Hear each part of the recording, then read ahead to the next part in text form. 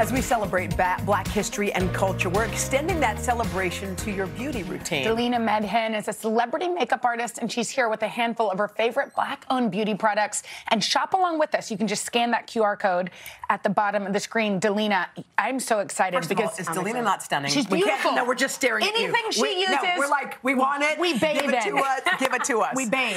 Thank you so much. Okay, so you're starting with this great cocoa butter. Yeah, so this is emollient. This is an actually like such a beautiful line. This was created by Keisha Gay Witter. She had experienced ex- eczema. Yeah. And so, you know, eczema, your skin is very dry, and so she needed something that was going to work really, really well. So she created this. There's five different scents that you can do, but I think you all are already loving the Lavender. lavender. The Yes, lavender. the lavender is the one. scents I know, I'm? Lavender's smelling. the oh, There's this- um, almond, vanilla. Yes. the lavender. It's so good. It's This so is crazy. incredible All right. product.